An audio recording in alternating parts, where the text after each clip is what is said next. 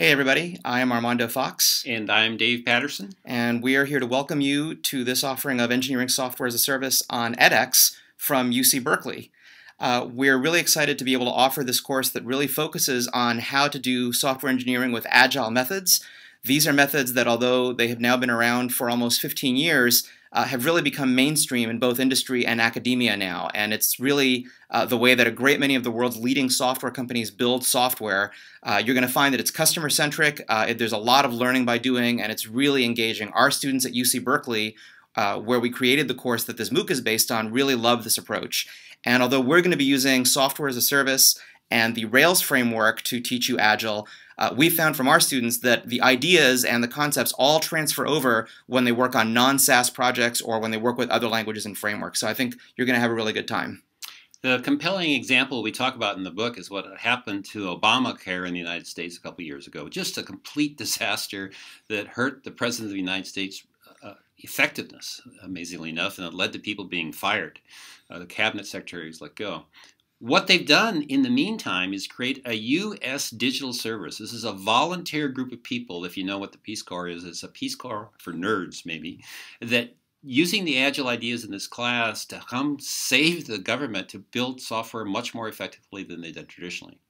Now, the agile development, when we started this course many years ago at Berkeley, it was pretty controversial, but today it dominates the software world. So you'll see lots of jobs asking for people who are familiar with the ideas you're going to learn about in this book, particularly uh, agile development.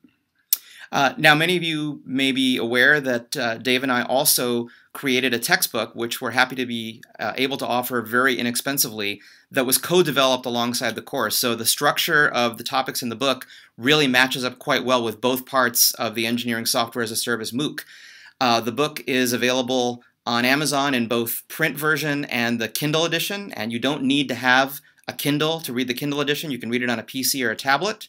Uh, también está disponible actualmente en español, acabamos de estrenarlo, and also in Brazilian Portuguese and Chinese, which are languages I don't speak, but we're very happy to be able to reach readers uh, who speak those languages. So the Kindle edition in particular is very inexpensive, and every time we update or improve the book, you'll get those updates for free. So uh, while the book is not mandatory, we think it provides extra depth, and a lot of people will find it useful, and we hope that you enjoy it and it's uh, incredibly well rated on Amazon, by the way.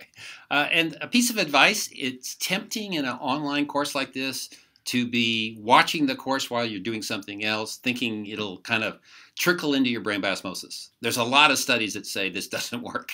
you really have to concentrate. Be broken up into short pieces, five ish minutes at a time. So if you can concentrate for five minutes at a time, you're going to get a lot more out of this course. Yep, don't multitask. You think you can, but you really can't.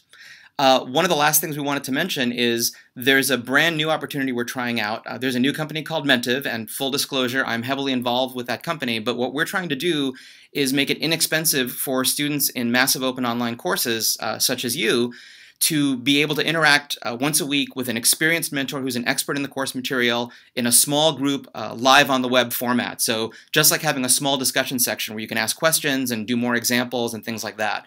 Uh, so we hope that you'll try it out and uh, uh, that it will help a lot of you learn better. We have mentors who are available in many different languages and many different countries and time zones. So check it out and uh, help us see if this idea will scale.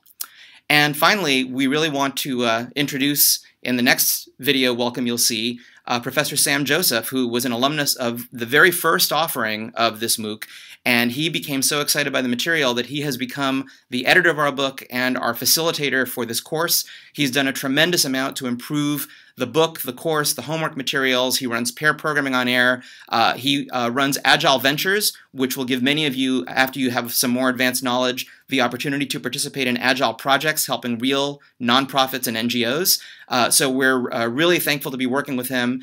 You'll hear from him next, and you're going to have a great time. And with that, we'd like to say uh, work hard, have fun, and good luck in the course. And uh, you're going to learn a lot if you keep at it. Way to go. We hope to see all of you in part two. Bye. Bye.